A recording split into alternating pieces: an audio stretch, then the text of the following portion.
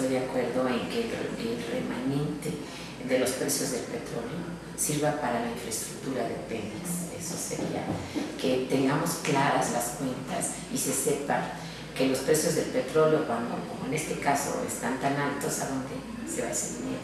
¿Y por qué no se ha este, utilizado la infraestructura? ¿Por qué llegamos a que, a que Pemex fuera una, o así lo dijeran, si es que es así, una empresa liquidada, este, para luego decir no nos queda más que venderla?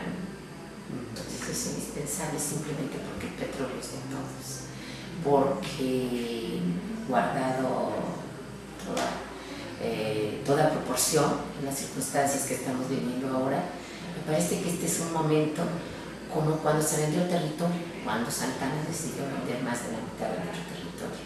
Este es un momento en que todos los mexicanos, todos, tenemos que aportar nuestra opinión, porque es de todos. El petróleo no es patrimonio de nadie ni de un grupo político ni del gobierno que está en el poder, ni de nadie. Es de todos los mexicanos, es la riqueza de este país.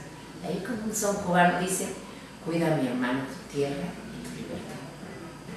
Eh, tienes que participar, es una obligación como mexicano en participar en esta consulta, en la que tenemos oportunidad, otras veces en la historia no la hemos tenido, de este, decir si estamos de acuerdo o no.